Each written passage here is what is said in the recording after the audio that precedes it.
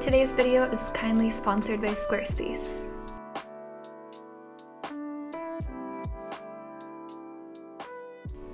Hi everyone, I hope you guys are doing well. Um, today we are going to be doing some planning for July in my bullet journal and this month's very exciting because it's my birthday month. Um, my birthday's on July 2nd so I am super excited to plan this month out with you guys.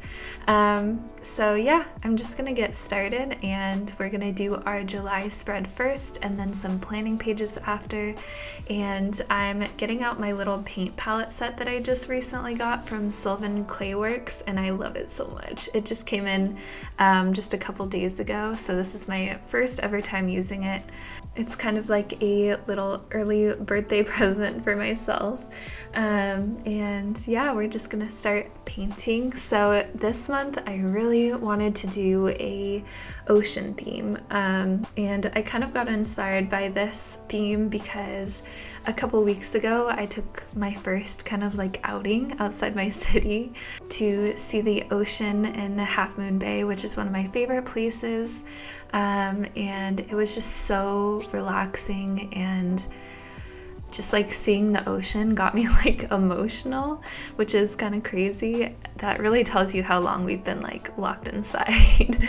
but um, it was just so nice to get out for a little bit, even though we just looked at the ocean from our car because the beaches were filled with people and we were not about to do that. Um, it was just so nice to get out for a little bit, get some seafood to go. Um, yeah, so this is kind of what inspired this theme and I'm doing a bunch of waves. If you guys remember, I did a um, ocean kind of like tutorial last year, I believe. I think it was for the month of June. And you guys really loved that tutorial. I still get tons of um, different recreations sent to me on Instagram that I absolutely love looking through. I think it's so cool that you guys are recreating my painting, and I think that one is definitely my most recreated painting of anything I've ever done. Um, so I really wanted to do a, another ocean painting, and this time, instead of it kind of looking out on the horizon, I wanted to have the whole page filled with waves. And I know you guys can't really follow along with this painting too well because I'm speeding it up pretty fast, but it's because I'm going to be posting a whole separate tutorial video in a day or two where I'm going to talk through my entire process, give you guys the colors that I use, the methods that I used, and all the materials and everything. Um, it's gonna be kind of like a long, chatty video where I'm just gonna sit down chat with you guys and kind of walk you through my steps to do this painting. And that's what I did with my ocean painting last year and you guys really enjoyed it. So um, I kind of wanted to do the same with this one. And this is the finished painting. I think it looks so pretty with all the glimmers and everything. I just love this one so much. Um, I think you guys are gonna have a ton of fun recreating this one because it's definitely not as hard as um, it like seems it would be. So that's why I'm really excited to get that like step-by-step -step tutorial up for you guys. But yeah, I just printed out my little calendar version of the watercolor print um, on my Canon Pro 100 printer, which is semi-new. Um, I've been loving this printer over the past couple months. And from the same watercolor, I created this important dates section uh, so that I can put all the important dates for the month on there. And yeah, this is the final spread for July.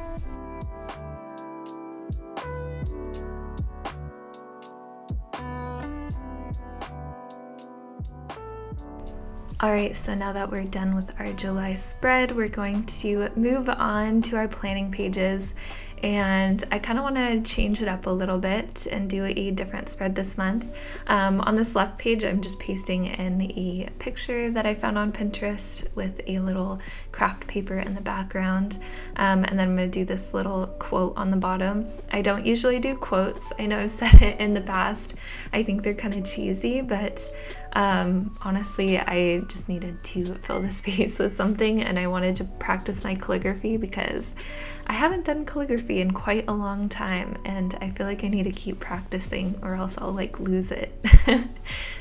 And on the right side, I'm doing a July playlist spread, which is basically gonna be um, all of my favorite songs and uh, I'm gonna write the artist and then I'm gonna have a little box on the right side to print out photos of the album cover. Um, I've seen a couple other people do this, but I've never done it myself, so I thought it was a good idea. And on this page, I'm going to start doing my weekly spread. Um, I'm not doing a bunch of planning pages like I used to just because I feel like I haven't really been using my bullet journal in the same way as um, when quarantine was like not a thing. um, I just feel like everything's a little off right now, and I'm not really filling my bullet journal with much except for those weekly spreads. But on the bottom, I did a ocean, obviously like a little ocean drawing, and I used my blue Ecoline pen to do this, um, which is a really nice pen if you kind of want that watercolor effect. Um, and I didn't really like the left hand of the page. So if you ever run into this problem, a really good way to fix it is just to cut out like a, a page in the back of your journal and then um, make it the right sizing and everything, and then just paste it over what you kind of want to cover up basically. And it pretty much looks like nothing ever happened, so I think it turned out pretty good. I used to be so scared in the beginning of making mistakes, but I feel like now I have so many different ways of kind of covering up my mistakes that I'm not too worried about it anymore. Um, so it works out pretty well and I'm gonna just do a little quote on the bottom, do a little um, gold sun, and the spread is pretty much done. Um, on the next page, I'm just doing one more page to kind of end this plan with me. And I'm just putting two pictures that I found on Pinterest and pasting them in. Um, I'm going to do the same thing with this one. And I kind of wanted this as a page to write uh, like all of my favorite memories from the month or all of my uh, accomplishments that I did uh, over the course of the month. And so I'm just gonna write them kind of like surrounding the picture.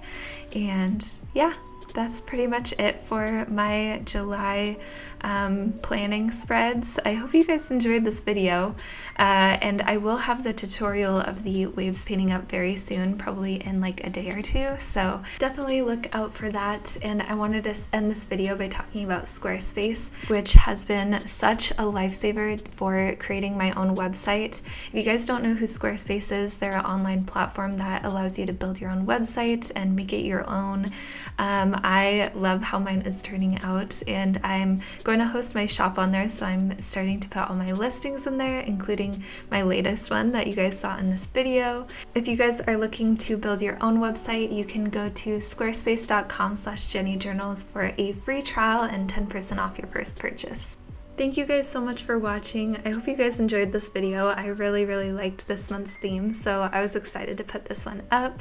Um, and yeah, if you guys want to subscribe, I'll have more videos coming soon, and I'll see you guys in the next one. Bye!